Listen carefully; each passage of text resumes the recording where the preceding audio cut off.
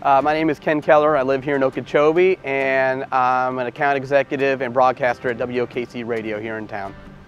So what I like to do when I'm not working is, is basically all family oriented. Um, uh, I'm married. I've got, I'm the father of twin 10 year olds. They're very active with, uh, with sports and, uh, and other things. So it's, it's really taking them to practice, watching them practice, watching their games.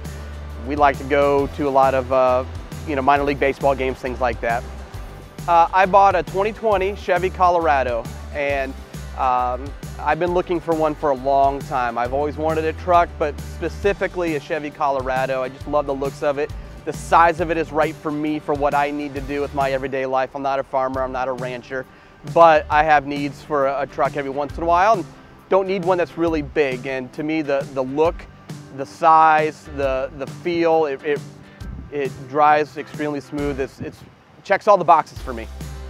What stood out for me with the purchasing experience was really just the no pressure approach uh, from Ben, my salesman.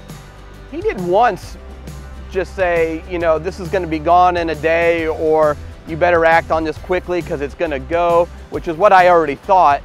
Um, he just answered my questions and that was it. And I felt like I could have walked away right there and he just, you know, nothing would have been said. So I, really appreciate the fact that he's not trying to pressure me into anything at all. So I, I think that was number one what, uh, what attracted me to, to here.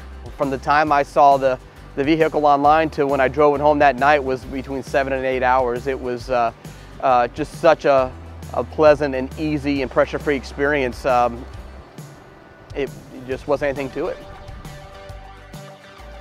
I'm Ken Keller, and I buy from Gilbert.